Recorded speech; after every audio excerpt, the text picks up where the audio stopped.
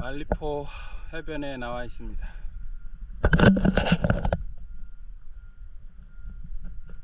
말리포에서 낭태성까지 패들보드 투어를 할 생각입니다. 어, 잠깐 시간이 날 때 도다리 낚시도 좀 하고 어, 사진도 찍고 자, 그럼 출발해 보겠습니다.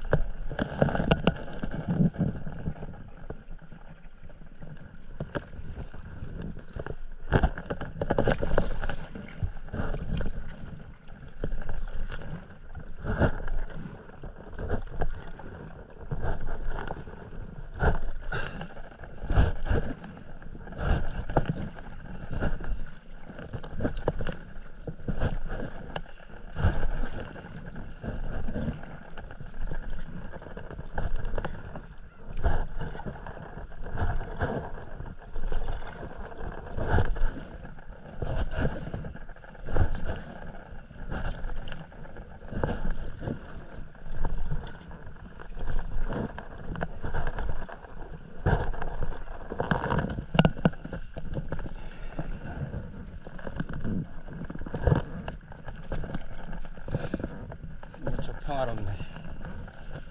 어, 얼마 전에 묵닥섬에 어, 산책로를 만들었었는데 천리포 쪽 산책로가 완성이 됐는지 한번 가보겠습니다. 가서 상황을 좀 보고